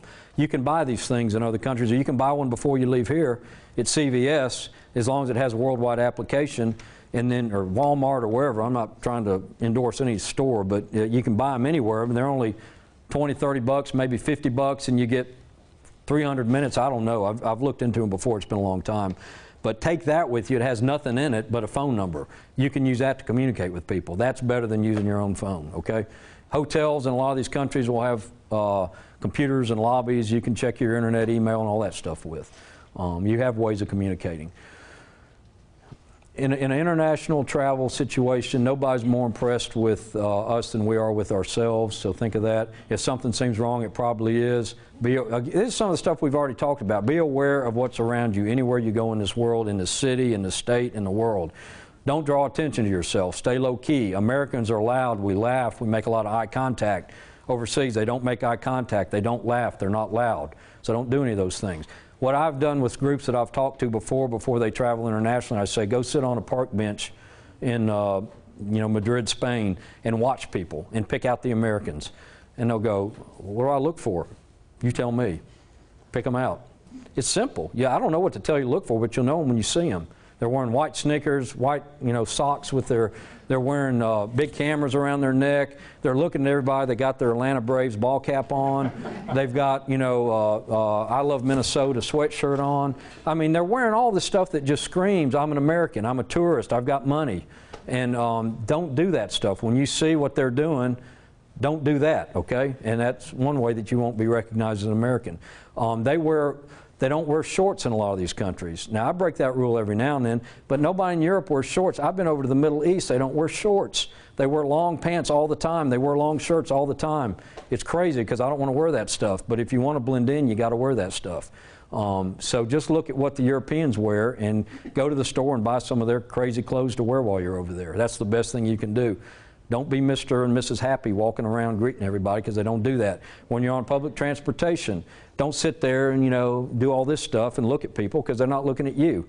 That's weird. Don't look at people. I mean, I know that's the way we are. We like to be nice and greet and all that, but don't do that kind of stuff in other countries. It's a very tough thing to break away from, but you got to keep that in mind when you travel for your own safety and for the safety of people around you. I don't like huge groups. I don't like these large groups of 15 people walking everywhere together. Some of these trips that we do with churches and other things, you can't avoid that, but that draws tons of attention when there's a big group of people. You can't keep high school kids or college kids, you can't keep them from not talking and laughing and doing what they're always going to do back home. But it's just something you need to be aware of. Have one individual in any group of people walking around looking at the group, being the aware person they're paying attention to what's going on. You can rotate that uh, responsibility, but have somebody that's really focused on what's going on. Uh, don't ever go to ATMs by yourself. Have someone always go with you. Go inside a building. Don't do an ATM outside a building. Go inside a bank to use an ATM. Um, and I probably have spoken stuff I've already written up. Public, if I'm a terrorist, you got to think like the terrorist, okay? If I'm a terrorist, what am I trying to do? I'm trying to create a big media event and I want to kill as many people as I can. When do you think I'm going to do that and where am I going to do it? I'm probably going to think about public transportation during a busy time of the day when there's a lot of people on it. If there's any way you can avoid public transportation in other countries, whether it's buses, whether it's uh, subways, trains, those sorts of things, do it during non-peak hours because they're going to do it during a rush hour time because they want to kill as many people and affect as many people as they can, get the biggest media splash. So try to use public transportation during non-peak times. You can't always do it. You might be over there doing some sort of business. You can't just use it arbitrarily like that. But if you're over there as a tourist, plan your stuff on the uh, public transportation for times that are not uh, the peak times because you've just reduced your chance of being collateral terrorist, a collateral terrorism event uh, in half or more because you didn't ride during a peak time. Again, you can't always do it, but if you can avoid it, that's great. Um, again, the typical American stuff that we all wear, just think about that when you're overseas. Flashy clothing. We wear a lot of bright stuff. Anywhere in Europe and overseas, you just don't see the bright, bright stuff like we were over here. Um, any kind of rings, jewelry, keep that stuff at home. If you got, you've got wedding rings, you know, diamond rings, those sorts of things. Don't carry that overseas. We all wear those kind of stuff in this country. They don't wear a lot of that in other countries. So just don't take it with you. Keep it in a safety uh, lock box or whatever. Don't carry it overseas. Um, people out in low key, loud conversations, obnoxious behavior. We talked about it. Don't get in arguments with people. And plus, if you talk loud and people hearing you, they can tell you, well, they're speaking English. If you ever get into a really bad situation, though, where somebody has got you and they're saying you're American, you know, all this sort of stuff, and they're you're starting to fear a little bit. I mean, if you know a little bit of, a, of another language, you start spitting out something, and now you know skazici gavadici paruski or something, and they're gonna they're gonna realize you know you don't know what you're talking about. Or if they really can't think you're American, say I'm from Canada. What part of Canada are you from? I'm from. You better have a story about where you are in Canada. Canadians are not thought of near as negatively as Americans. So be Canadian. Canadians sound like us a lot of times, and you can get away with that. They look like us, they sound like us, so say you're Canadian. Don't let them see your passport. um, oh, public demonstrations. These things happen in a lot of places overseas. You're going to see big demonstrations. They flare up, particularly with economic things going on. Don't get so curious about those that you walk over, start taking pictures, and get in the middle of it look at it from afar if they're way across the way. Don't get anywhere near that because you're going to get caught up in something. And if they think that you're an American, you're going to get in trouble. So don't ever do that. Uh, if you ever look, if you ever get confused and lost, and you will when you travel overseas, you're going to get confused. You're going to get lost. Um, don't do it out in the public like these guys. Don't pull out a map and start staring at it in the city square because again, you're a tourist. You don't know where you are. Somebody's going to come offer you help, and it may not be who you want. Um, so go inside a restaurant some kind of establishment where you can ask somebody where you're out of public view when you're doing this. Uh, ATM scams, go with somebody. Notify your bank before you go overseas that you're going to be overseas because they may not allow your card to have transactions from Greece or from France because they didn't know you were going over there and you might, they might cancel your card. So let them know you're going to be gone for two weeks or a week. Um, this is, you know, taking pictures, conceal your camera when not in use. We use a lot of these kind of cameras now on phones. They're a whole lot easier to conceal. But if you have one of these big old touristy kind of cameras, don't wear it around your neck. Tourists do that. Um, always carry your. I'm one of these. There's going to be different rules based on the kind of group you go with as far as passports. I personally am going to have my. I'm not going to leave it in a hotel. I'm not going to leave it in a safe in a hotel. Uh, you may see things that say leave it in a safe in a hotel. I'm going to carry it with me, or there's going to be a designated individual on whatever trip you're on that is holding those and keeping them safeguarded. But I'm personally going to have it on me worn around my neck, depending on the country, inside my shirt. So I'm going to know when somebody's messing with my neck. I mean, I'm going to be able to feel them getting at my passport. Um, so wear it. It may look goofy, but wear it where it's under your clothes, and it may not be real comfortable. Don't have it in a don't put it in a backpack. Don't put it in a pocket, because if they're going to pickpocket you and they get your passport, you're in trouble. Um, carry limited cash credit card, keep one copy with you. I'm going to move through this kind of fast because I think I've touched on a lot of it. A dummy wallet's a good thing. Have one wallet that's got a little bit of money in it and the other's got the rest of your stuff in it. And if they absolutely you're in a bad situation, they got a knife in your back and they want your money, pull the wallet out give it to them. It has a little bit of money in it, but it doesn't have all your other stuff. That's somewhere else. So it's a dummy wallet. Don't inv in volunteer information about where you're staying, what group you're with. I'm with a group of 80 people from Dawson. We're staying at this hotel. We're doing Nobody needs to know your business. Uh, travel in small groups, avoid large groups. I talked about that.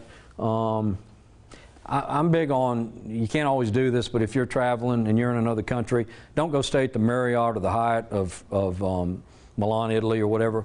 go find a little small bed and breakfast. Again, if I'm a terrorist, I'm going to go after the Marriott, I'm going to go after the Hyatt, I'm going to go after the Hiltons, the Western sounding hotels that have Westerners staying there.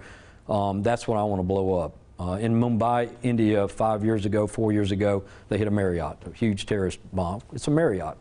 Uh, that's where Westerners stay. So stay in some local hotel, a smaller hotel. Don't stay in these big ones because, again, they're going to try to make the biggest splash they can. Um, I'm going to go through these because I want to get pickpockets are really bad over there. Gypsies, uh, Rome is probably the worst part. They throw babies at you. You catch the baby, they go for your pockets. So be aware of those kind of things. Common targets are backpacks, pockets, purses. Uh, avoid flashing. Email a copy of your itinerary to people when you're going somewhere. Be wary of shortcuts in foreign countries. Don't just walk places you don't know where they are. Always plan it out. This shows some pictures of uh, how easy it is. That lady's carrying bags, and she's got a group of people that are watching her, and they're doing a little diversionary tactic to get her bag. Um, here's another one. You've got um, somebody walking around. You know that would be really easy to slip off. You've got this lady right here, and this gypsy is right behind her in the back, and she's about to do something. So um, this kind of stuff happens all the time in European cities. Uh, these are some things that you can take with you to be safe when you travel. Money belts that don't look, you know, goofy like the pack that guy was wearing with the flag on it. Organizers, this, thing, this is where you put your passport and your shot record. You wear it under your clothes. Security purses, they do make purses that have inside, they have these really fortified zippers. I don't know if anybody has those, but it'd be really difficult to get into. You might go to a travel store or something to try to find something like that if you do a lot of traveling. It'd be worth investing in instead of taking a normal purse over there. Um, I'm going to skip through these because we're going to talk a little bit about self-defense before our time runs out. Uh, we're not going to get into a lot of detail about this, but there are some things that you can do uh, personally um, to really the, biggest thing that is if an attacker comes up to you and they grab you, they don't expect you're going to react because they expect you're like most people won't have a clue what to do. But if you can think of a few things to do, these pictures demonstrate part of it. Anytime you shove your hand into the chin of somebody, they're not expecting that, particularly if you're a vulnerable female and you're walking around, they don't think you're going to do it. You, you cram it as hard as you can into their chin if you can get that front look at it. You take your fingers and jab them into their eyes, they're not going to do a thing after that. It sounds gross, but when it's life or death, you, you jam your fingers into their eyes. Um, if you hit on the side of their neck, these carotid artery, if you hit hard enough, it's like being hit with a stun gun. It almost feels like a bolt of uh, electricity. I've been hit that way before to test it out, but you're on the ground. It feels like a bolt of electricity. Don't ever be ashamed of hitting too hard or afraid to hit too hard. Use the hard part of your hand. It's probably like this bone or right here or the side of your arm and cram it in, put all your body weight forward and cram it into the side of their neck, and they're going to go down to the ground. It's like a shock almost. Um, I want to show you this. I think this is worth watching. These are three self defense moves.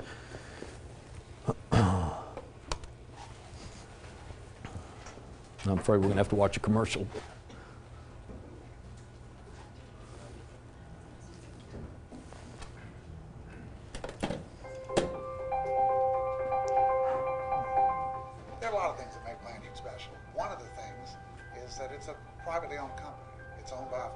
If I could skip that, I would, but I can't do it for some reason. My cursor doesn't work on this. clients a good feeling knowing that, that we're here. We're here for the long haul. Relationships that our portfolio managers have with our clients. While that commercial's going, uh, Doug made a comment about making copies of your credit card when you travel. I also encourage you to make copies of your passport. Leave one with a Yes. family member that you can contact at home, and it can be uh, faxed over if, if yours is stolen or lost. And then also make a copy that you will carry somewhere other than your room, another piece of luggage. So always have at least three copies. 'Cause that's a You took good notes. Scenario if you've ever traveled with a passport. so- Sorry about this. Normally I can skip the ad. The cursor doesn't work on that, and I can't get it to work up there, so.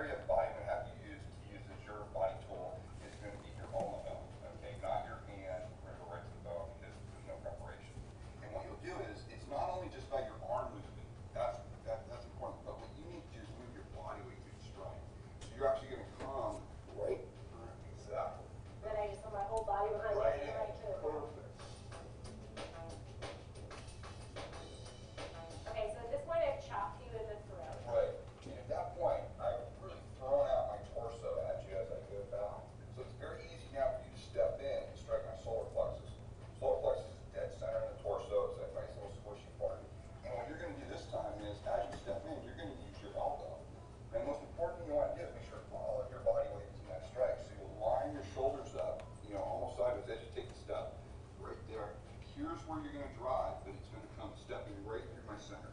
All right. And that's who's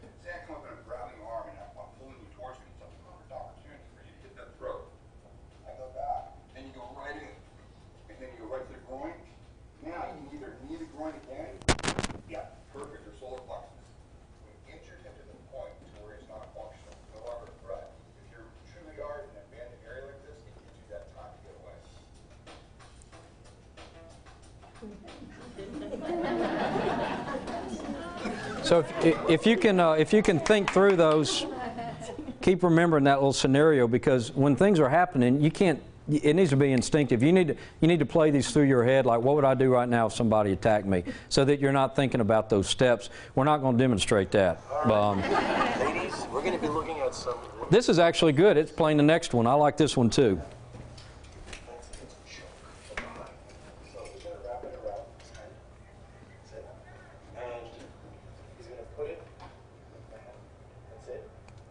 this would be a common thing that could happen to you.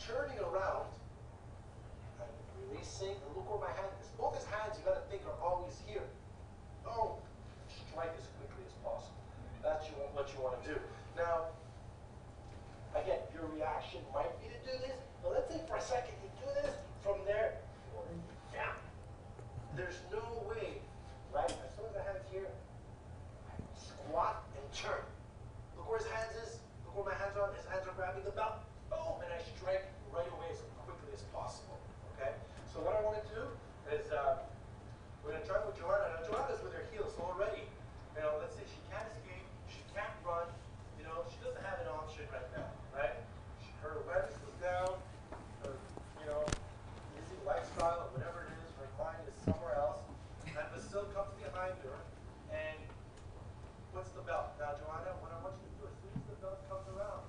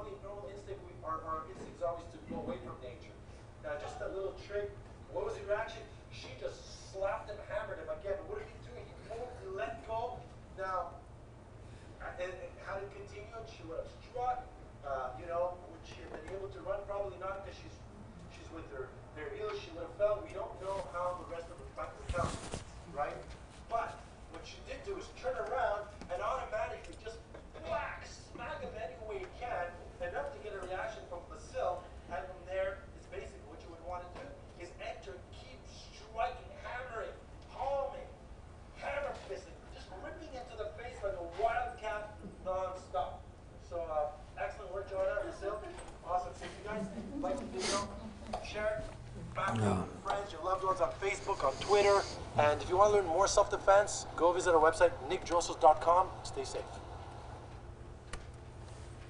The, um, we're, we're really out of time, but there are some of the main things I want you to think about. If someone puts you in a chokehold, you know, they were using the belt and that, but if they come around you with their, again, you want to yank down to try to keep it from strangling you, but if you turn around, it releases that. You're not normally thinking about turning around, and they're not thinking about you doing that either.